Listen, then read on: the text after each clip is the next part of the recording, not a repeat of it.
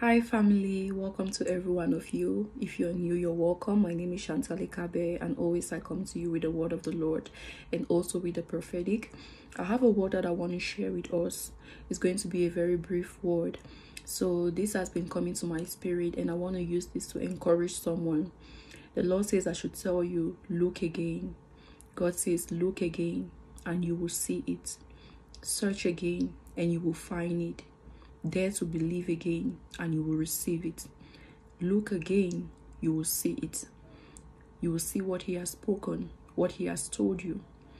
Um, before I continue, I want us to open to Elijah, um, sorry, First Kings chapter 18. It's about Elijah, so I was already calling Elijah. Chapter 18.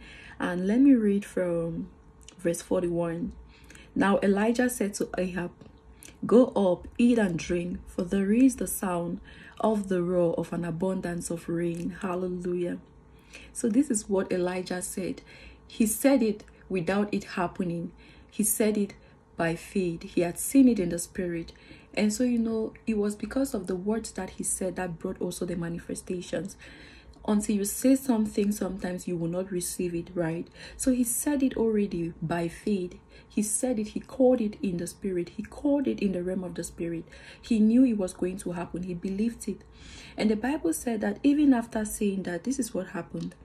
Um the bible says in verse 43 and he said to his servant go up look toward the sea so he went up and looked and said there is nothing. Elijah said go back seven good times seven times.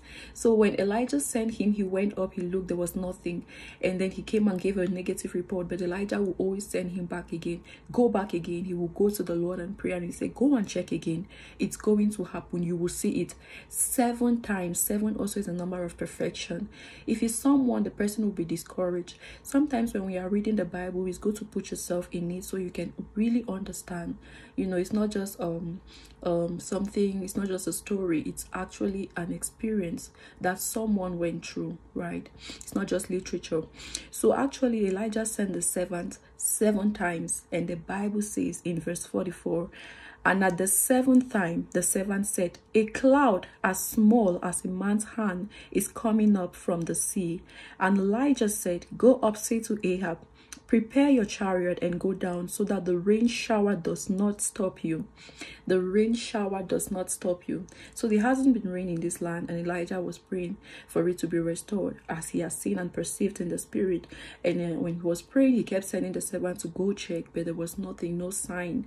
So um, this really encouraged me when the Lord told me, Look again. Some of us have been searching, there's no sign.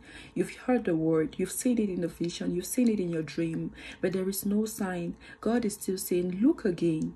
Don't be discouraged. Look again. The Bible said Elijah was a man of like passion. Um, he had the same emotions that we had, just like you and I, right? He was someone just like you and I, the same flesh, the same everything. But he trusted God. He believed the works that he did were amazing or the works that the lord did through him were amazing is as a result of his work with the lord. Hallelujah. If i was the person you know maybe as a human being as a as as, as someone in the flesh but god forbid we are not walking by flesh you know i've been thinking maybe by the third time that oh there's not going to be any rain. Maybe this rain is not coming. But god is saying to someone listening look again you will see it. Look again, search again, you will find it. It's there and you will see it. It will happen. It will even surprise you and the glory will be given to Him. Don't give up, don't let go.